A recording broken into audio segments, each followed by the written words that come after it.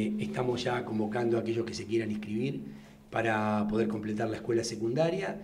Eh, damos una buena oferta pedagógica, ya que es en administración y gestión, por lo tanto eh, se puede trabajar en comercios, en, un montón de ámbitos en donde pueden trabajar tranquilamente como ayudante de contador y aparte con la posibilidad de obtener un certificado de Tango Gestión que es un programa contable que es muy importante en todos los ámbitos contables, justamente, ¿no?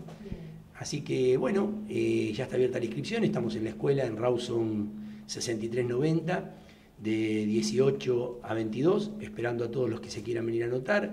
El lunes ya empieza primer año, eh, los dos cursos de primer año, así que, pero estamos inscribiendo, así que aquel que quiera acercarse, bienvenido sea. Nunca es tarde para terminar los estudios.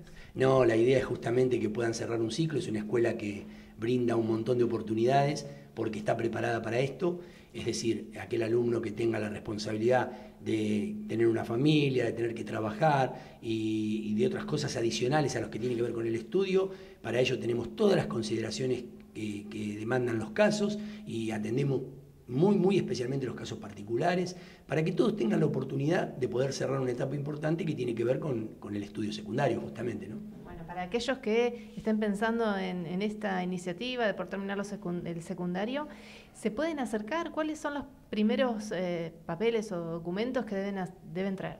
Bueno, eh, lo importante es que vengan con documento de identidad, original y fotocopia, partida de nacimiento, original y fotocopia, y que acrediten los estudios. Pueden venir con certificado de séptimo grado, pueden venir con certificado de sexto grado, pueden venir con certificado de tercer año, eh, de la, eh, noveno de la EGB, que era el, famoso cartoncito, o algún año de polimodal que haya quedado trunco, y bueno, nosotros acá tenemos la forma de ubicarlo en función de los, del estudio que él traiga hecho.